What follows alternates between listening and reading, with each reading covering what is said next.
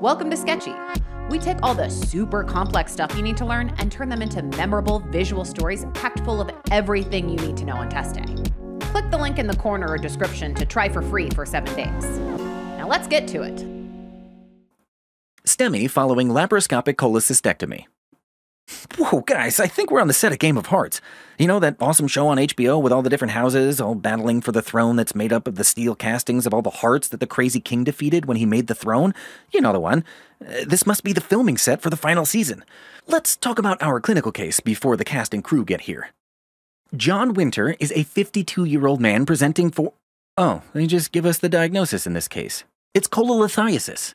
So he's having biliary colic bad enough to bring him into the ED. So the attending surgeon wants to take him back right now and just get it over with. Great. Well, let's get him teed up to the OR just like the team did, and hmm, looks like he got the surgery just fine, but the next day, he had a heart attack. What the heck? I guess we should have noted the fact that he hasn't seen a doctor in 20 years and he's a smoker. Let's see what else pops up when we look at his case a little closer. Looks like someone didn't study her lines enough yet. She's having a panic attack, complete with chest pain. Just like our patient, who was reporting some occasional stable angina, as well as an inability to climb a flight of stairs without stopping to catch his breath. And based on these vital signs, this patient also has untreated hypertension. So, hypertension, angina, smoking, and all he's got is some gallstones? Jeez.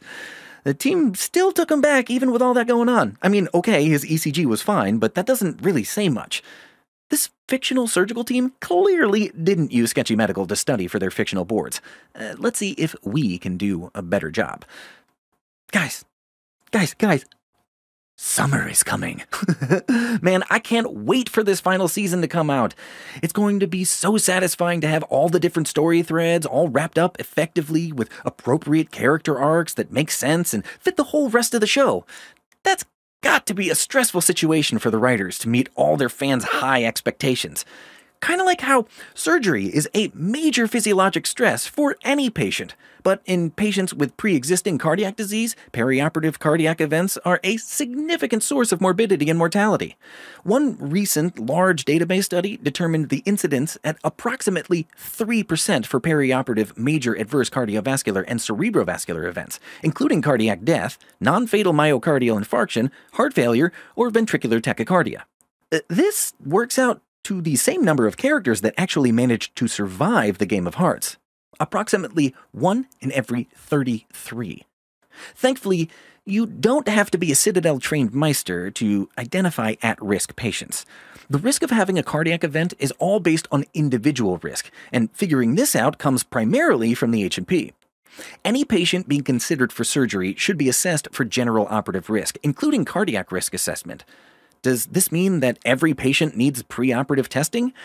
No. Although cardiac risk needs to be considered in all patients undergoing surgery, additional workup is not always required.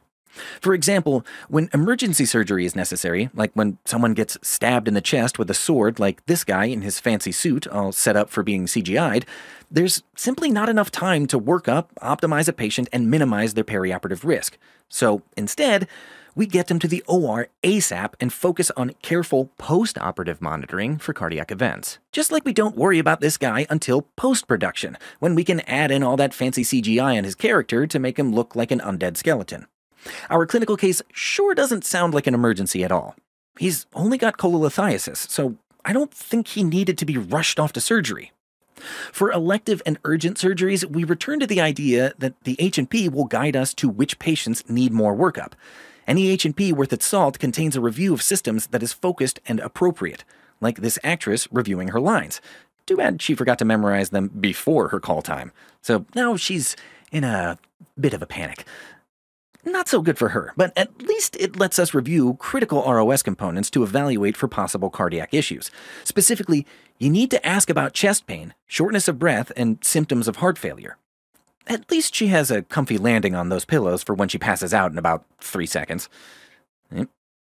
This is also a great time to assess a patient's functional status. For this, we use METs, or metabolic equivalent tasks, estimated on a scale from 1 to 10. A single MET is equivalent to a bedridden patient, like this guy laying down on the job. he's not too functional.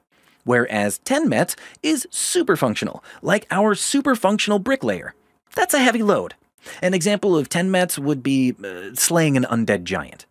4 mets is equivalent to climbing a flight of stairs or walking up an incline, time traveling into the past by telepathically linking with some tree roots, participating in moderate recreational activity, or doing light housework, like stabbing your castle guests in the back while hosting their wedding. We'll cover this more later, but a patient who can do a 4 mets activity is generally at low risk of a perioperative cardiac event. So asking your patients these simple questions is a fast way to identify their functional status. For our clinical case patient, he was not able to walk up a flight of stairs, so we can say that his METs are probably less than 4. Another method to assess functional status is the American Society of Anesthesiologists Physical Status Scale, which breaks surgical patients into six categories to capture risk of perioperative mortality. ASA 1 is a normal, healthy patient. ASA 6 is a brain dead patient who is an organ donor, or like the aforementioned zombie skeletons, but I'm pretty sure their organs are in no shape for donation. In between are shades of gray of an increasingly unhealthy patients with increasing likelihood of perioperative mortality. In order to determine risk for a patient, we need to know about their medical, social, and family history. Whoa, this lead scriptwriter is getting really worked up. Is, is that is that James R. R. Barton, the creator of this very show? no wonder he's pissed. Someone absolutely tanked on the writing for the final season of his show. Look at him, telling them that their script doesn't even fit the history he's created, which makes me think of a patient's medical history. As we covered in the introduction, an individual's risk of having a cardiac event during the perioperative period is determined by their baseline risk. Past medical history plays a significant role in this certain major conditions on history are going to trigger an automatic workup, which is why these symbols are positioned near our workup section. We'll talk more about these in a bit, but these conditions include acute coronary syndrome, a recent MI, getting a piece of obsidian shoved into the heart, thereby turning the patient into a demon overlord, decompensated or new onset heart failure, significant arrhythmias, or significant valvular disease, which all require specialist evaluation and may need optimization prior to any urgent or elective surgery. In the case of the demon overlord, though, I'm pretty sure it's going to take a different kind of specialist. Like some young plucky girl who's mastered all the different fighting styles across the world. I'll bet her name is Enya or something.